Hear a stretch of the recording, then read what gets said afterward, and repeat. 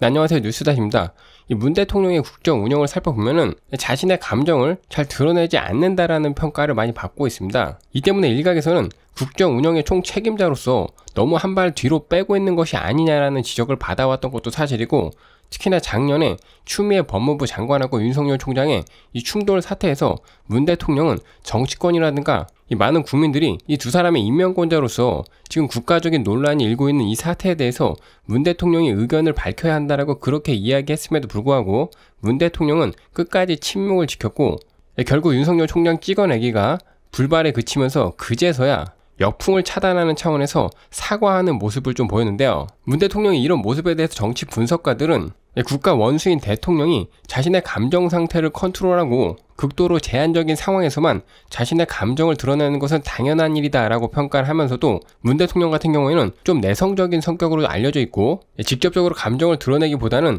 좀 의전을 통해서 소통을 많이 하는 편이기 때문에 대통령으로서 자신의 감정을 자제하는 것이 국정 운영에 도움이 된다라고 치더라도 문 대통령 같은 경우에는 자신의 감정을 많이 드러내지 않는 편이다라고 평가를 하고 있습니다. 하지만 그럼에도 불구하고 문 대통령은 특정한 상황에서는 확실하게 자신의 감정을 드러내고 때로는 경로한다라는 표현까지 나오면서 이를 두고 일각에서는 문 대통령의 K 대노라는 이런 말까지 나오고 있는 상황인데요. 이번 소식에서는 평소에 자신의 감정을 잘 드러내지 않는 것으로 알려진 이 문 대통령이 어떤 순간에 분노를 하는 것인지 그리고 그 의도는 무엇인지 일명 문 대통령의 K대노 공식에 관련된 이 소식을 전달드려 보겠습니다. 근 네, 먼저 가장 최근에 문 대통령이 이 K대노를 보여준 사건은 바로 그 산자부의 북한 원전문권 지원과 관련해가지고 야당의 총공세가 이어지자 예, 문 대통령은 대노했습니다. 이 당시에 청와대 측에서는 문 대통령이 경로했다라는 말이 흘러나왔고 수많은 마타도어를 받아왔지만은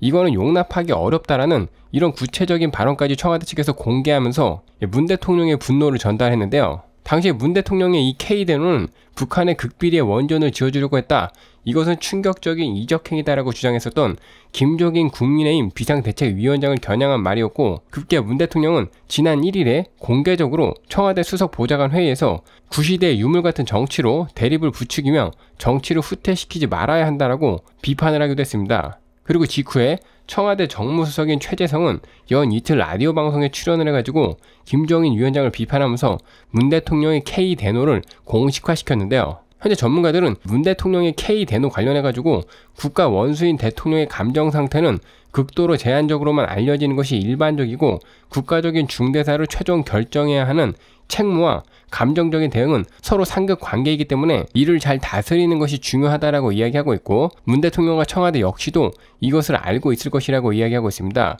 그럼에도 불구하고 문 대통령 같은 경우에는 특정 사안하고 타이밍에는 의도적으로 격노하는 모습을 보이고 있다고 이야기하고 있는데요. 그래서 어떨 때 문 대통령이 공개적으로 대노하는가 좀 살펴보면은 전문가들은 문 대통령이 노무현 전 대통령 관련된 사안이라든가 적폐 청산 등이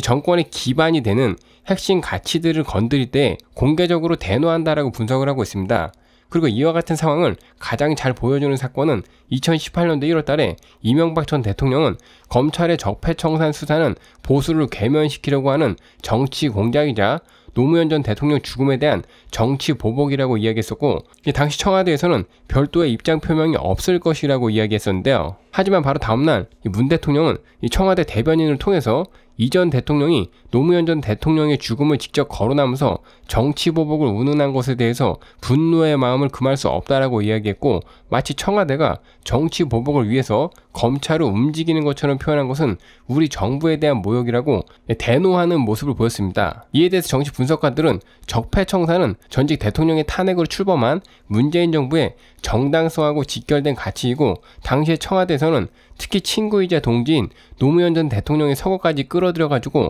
정부의 정당성을 폄훼하려는 시도는 금도를 넘어선 것으로 받아들여 가지고 문 대통령이 이례적으로 격한 감정을 드러냈다라고 보고 있고 또한 당시에 문 대통령이 공개적으로 분노했을 당시에는 지지율이 70%를 넘을 때였는데 예, 문 대통령의 당시 공개적인 분노는 지지층의 결집 효과를 가져왔고 의도했던 안 했던 당시의 공개적인 분노를 통해서 지지율 상승까지도 이끌어냈는데요. 그리고 이뿐만 아니라 문 대통령은 2019년 2월에도 당시 자유한국당 일부 의원들이 5.18 망언과 관련해가지고 분노를 느낀 자라고 공개적으로 이야기했고 자신도 맞서 싸우겠다면서 격한 감정을 드러냈습니다. 그리고 광주 지역 원로들을 초청한 청와대 오찬에서 5.18은 문 대통령 스스로 헌법 전문에 넣어야 한다라고 했을 정도로 대통령에게 중요한 가치라고 이야기했고 특히나 현 정부의 주된 지지 기반인 호남 정서에 미치는 파괴력이 큰 문제라는 점에서 문 대통령의 분노는 당시에 한층 더 격했고 큰 주목을 끌었다라고 이야기하고 있는데요. 그것 또한 문 대통령은 대북 정책이라든가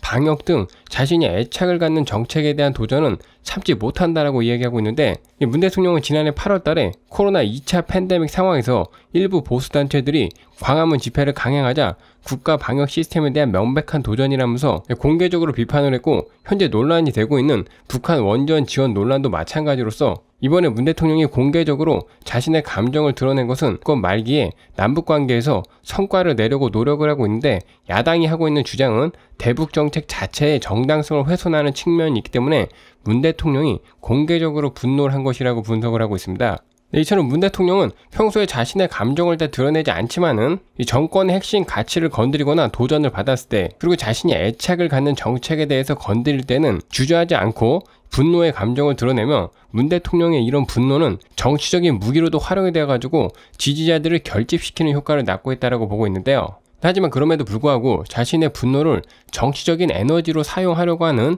이러한 시도는 오히려 역풍을 맞을 때도 있는데 가장 대표적인 사건이 바로 대통령 개별 기록관 사건으로서 2019년 9월 고민정 당시 청와대 대변인은 문 대통령의 개별 기록관이 추진되고 있다는 보도가 나온 뒤 문 대통령이 관련 뉴스를 보면서 당혹스럽다라고 하면서 불같이 화를 냈다라는 이런 문 대통령의 반응을 단호한 어조로 전했고 대통령이 이와 같은 반응은 전날 행정안전부 국가기록원이 172억 원을 들어가지고 이 문 대통령의 개별 기록관을 짓는다라고 발표하자 야당의 비난이 폭주한 상황이었습니다. 이 때문에 결국 당시에 개별 기록관 설립 계획은 백지화되었고 논란도 잦아들었는데요. 하지만 당시에 문 대통령이 K 대노는 이전과는 다르게 지지자들을 별로 결집을 시키지 못하고 국민들에게도 지지를 받지 못했는데 그 이유는 당시 상황이 이른바 조국 사태로 대통령이 코너에 몰린 시기였고 당시 청와대가 해당 사안과 관련해 가지고 대통령이 분노했다라는 것을 공개를 하자 야당 측에서는 조국 사태 관련해 가지고 지지율 추가 하락을 막기 위해서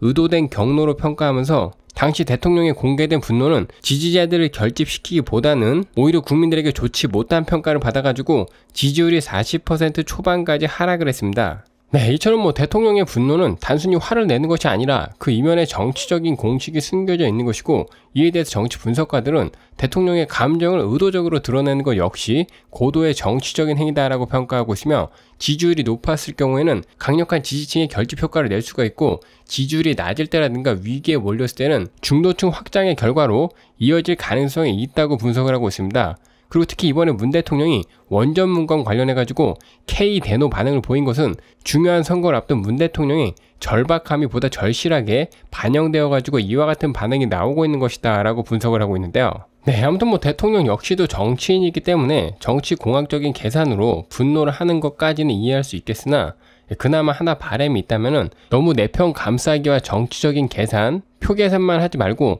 국민들이 분노하고 있는 사안에 대해서 진영 논리에 상관없이 좀 같이 분노하는 모습도 보여줬으면 좋겠다라는 생각이 듭니다. 이번 소식은 여기까지 하겠고요. 여러분의 의견 어떠신가요?